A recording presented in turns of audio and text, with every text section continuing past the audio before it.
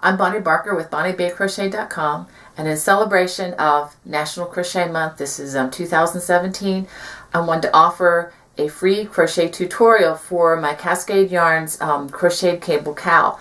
Um, this is what we're going to make. These are really, really fun to wear. Um, great for wintertime. They can actually be really good for this time of the year in the spring when the weather's not sure whether it wants to be cold or warm and or in somewhere in between. Well, anyway, this this is just a one hank project.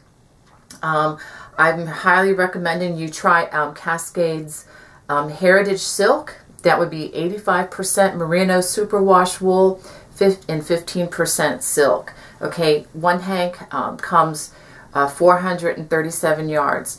And the other thing you're going to need is a size G or 6 crochet hook and a yarn needle or a darning needle just to hide a loose end or two. There's only going to be two at the very most with this project, so that's a lot of fun too. You're not going to have to spend a lot of time hiding strings.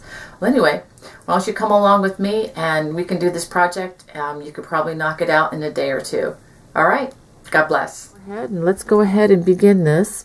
Um, just quickly, I'll just state that the gauge for this is done in the in a double crochet ribbing, which we're going to begin. Um, and let's see, 11 stitches should be approximately 2 inches.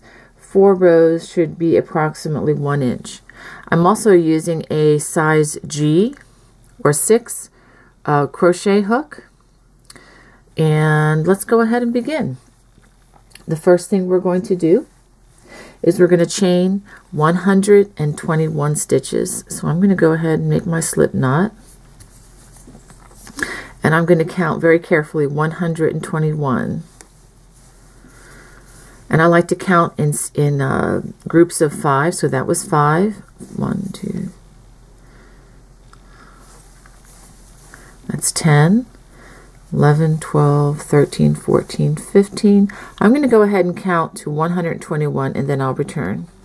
Okay, now that I have my chain of 120 chains, I'm going to go ahead and very evenly, without twisting the chain, I'm going to try to find the first.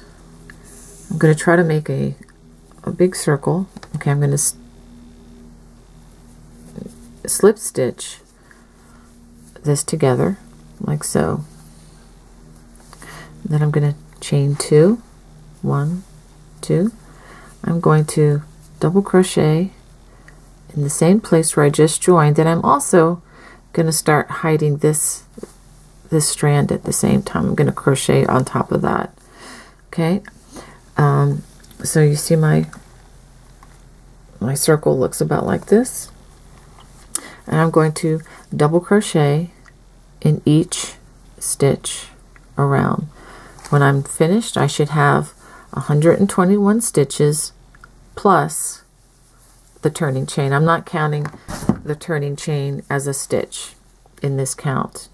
Okay, so, and as you see, like I said, I'm going to try to hide this stitch at the same time, or, or, or rather the strand. So it'll be pretty well hidden when I finish this round. I'm going to double crochet in each stitch around and then I will return.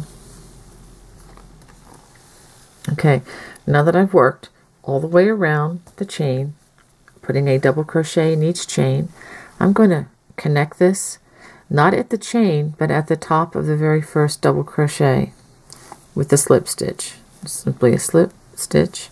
Okay. Now the next thing we're going to do, we're going to chain two, one, two, and we are going to work a front post double crochet and then a back post double crochet all the way around ending with a front post double crochet in the last stitch since we have an odd number okay and if you've if you are new to front post stitches instead of going in the top like so what we're going to do is we're going to give the stitch a belt like so. We're going to wrap the hook and then we're going to go in the front door and come out the side door for a front post double crochet. And then we just complete the double crochet as normal like you would do in a regular way. For a back post which is what we do next we're going to wrap the stitch and we're going to come in the back door go around the front of the stitch and go out the back side door and pull up a loop yarn over pull through two yarn over pull through two just like you would um, complete the double crochet. It's just that instead of going in through the top, you're going it around, you're giving it a belt. If it's a front post double crochet, we go in the front side, like so. If it's a back post, we come in the back side, go around the stitch completely, and complete it like that. Okay, I'm going to do a couple more of these, just to demonstrate. Front post double crochet, and then a back post double crochet. Front post double crochet. Come around. Back post double crochet. I'm going to do this all the way around and then I'll show you what it looks like when I complete this round. Okay now that we've come to the end of the round I'm going to join with the slip stitch in the first DC or first front post of the round I'm going to chain two and the pattern says for rounds three and four to repeat round two. Okay, so I'm going to start off on round three and I'm going to actually complete round three and round four um, before I give the next instructions when I come back. But I'm going to go ahead and start here. We're going to do front post double crochet. And when you're doing this, make sure that the front post is done over another front post from the previous round. And also, um, we do not have to turn any of these these rounds or, or at least not yet. Okay now I'm going to do a back post double crochet. And there's a front post. I'm going to do a front post there. And then a back post over the back post double crochet okay so the ribbing this is what this is called should continue to grow. You know, should should continue to form you know longer lines as you do round three and round four. So go ahead and complete those rounds, and then I will show you how to begin the cabling. Okay, I'm now at the end of row four. I have one, two, three. This is my fourth row, and I'm going to um, front post and a last stitch like so. Let's go ahead and get through both of those. There you go. And now I'm just going to connect with a slip stitch at the top of the first front post double crochet of the round. Okay, so that completes the first four rows, which is the ribbing. Okay, now this is row five, and I'm going to begin the cable. I'm going to chain three, one, two, three, and the directions say to skip two stitches, so that's one, two stitches, and I'm going to work a front post treble in the next two stitches. So I've wrapped my hook twice. I'm doing a front post treble. It's just doing a treble crochet, but again, we're wrapping it around the post. Now I'm going to also do a front post in this one as well. Even though it's a back post, we're no longer doing ribbing, we're into the cabling. Now, it says working in front of the last two stitches. So working in front of these I'm going to front post treble in the two skipped stitches right here. So I'll do the first one that I skipped and then the second one. Okay and we've just completed our first cable okay so the directions now say we're going to do that around. So what we're going to do is everything within the brackets, we're going to do that all the way around. So I'll do a couple more for you. So it says to skip the next two stitches. Then we're going to front post treble in the next two.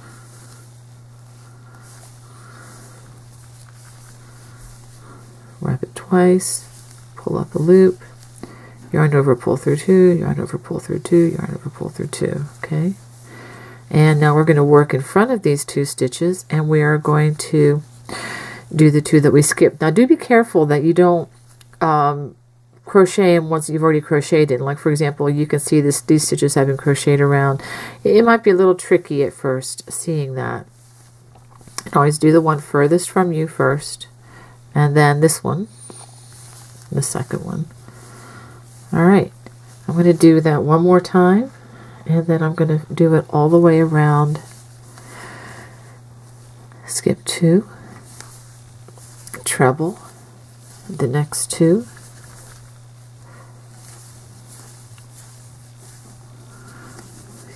and working in front of these two stitches I'm going to treble. And the next two. Whoops let's do that again. I pulled it through too many loops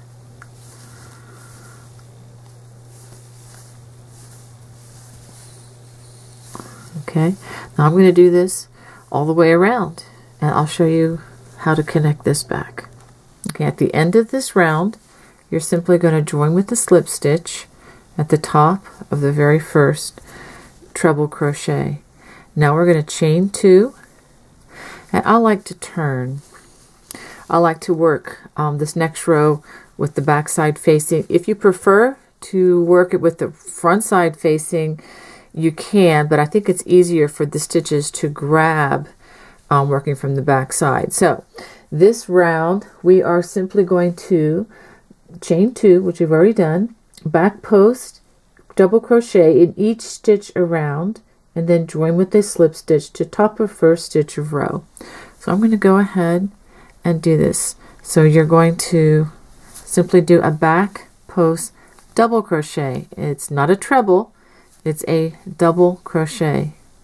And remember there are four stitches. You may have to work that hook around to get those four stitches. Sometimes it's a little tricky at the cross but um, the crossing of the cable.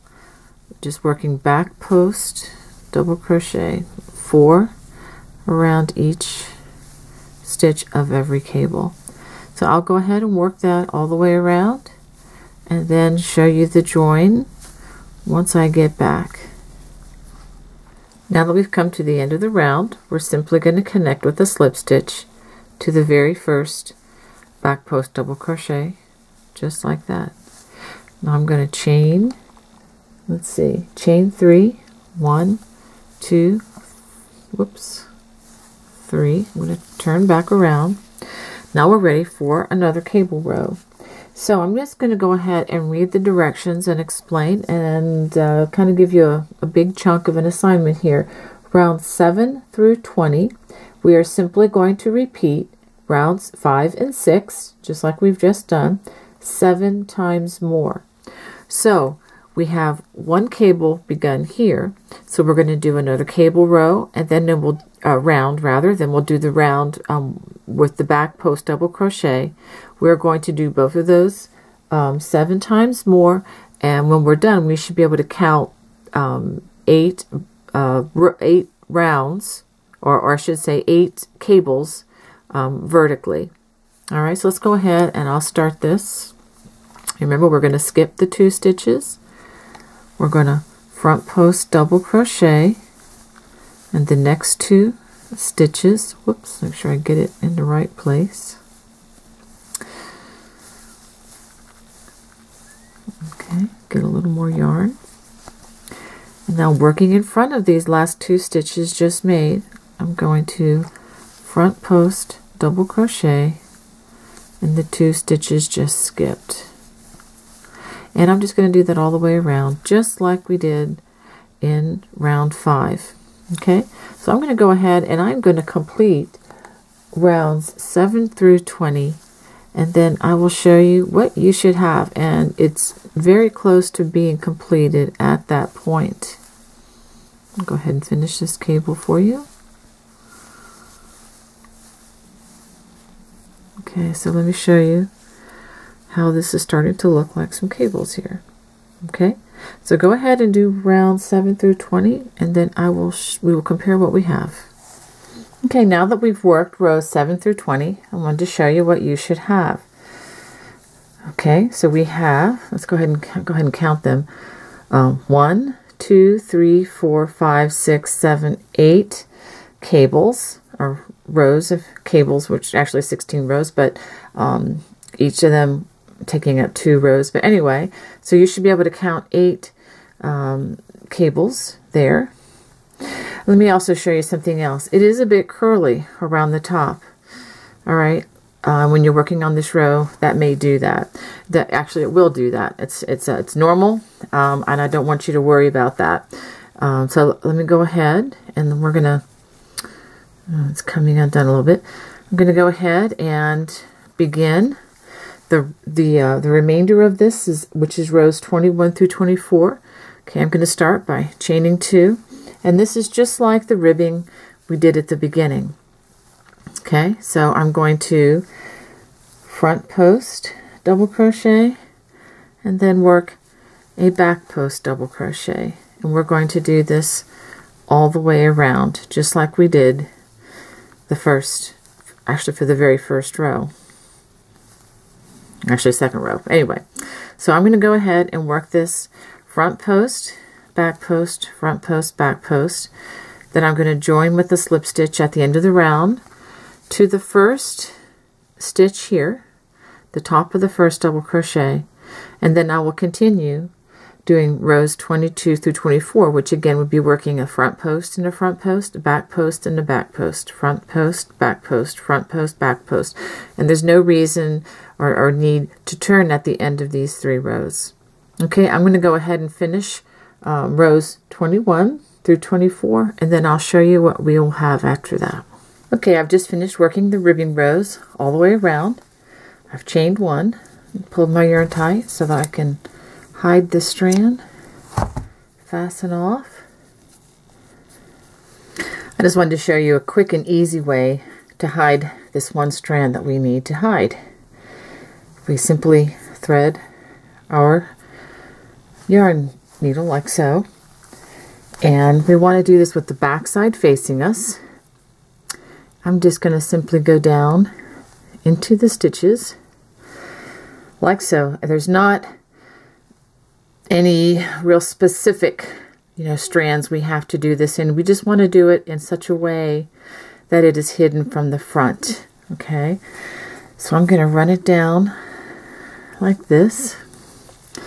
I'm going to go a couple more stitches down. And and this there's going to be a lot of elasticity and uh, with the, the silk and this yarn it can be a little slippery so I'm going to actually kind of go back up the next row like so. Okay? Because that way it's not going to just pull one direction. Okay? And I'm going to very carefully trim it. Be very sure that you do not cut your stitches when you do that. Okay? And it is completely hidden. So let me show you. Show you what we have here. Okay? Very nice, very fun cowl.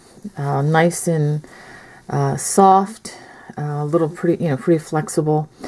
And you can make these to go with, you know, various colors to, to go with whatever uh, you have in your wardrobe. Um, let me show you one thing. When you wear this, the top chain, this is the foundation chain right here. You're going to want to wear that up up to the top. Let that be the top and the bottom row is much more flexible. So that will easily easily adjust down uh, to around the collar. Okay that that ends this video. If you enjoyed this project and you want to learn more cables do me a favor. If you could please subscribe to my channel and that way you won't miss out on any of the new projects both large and small that I'm posting on my YouTube channel. Really appreciate it. God bless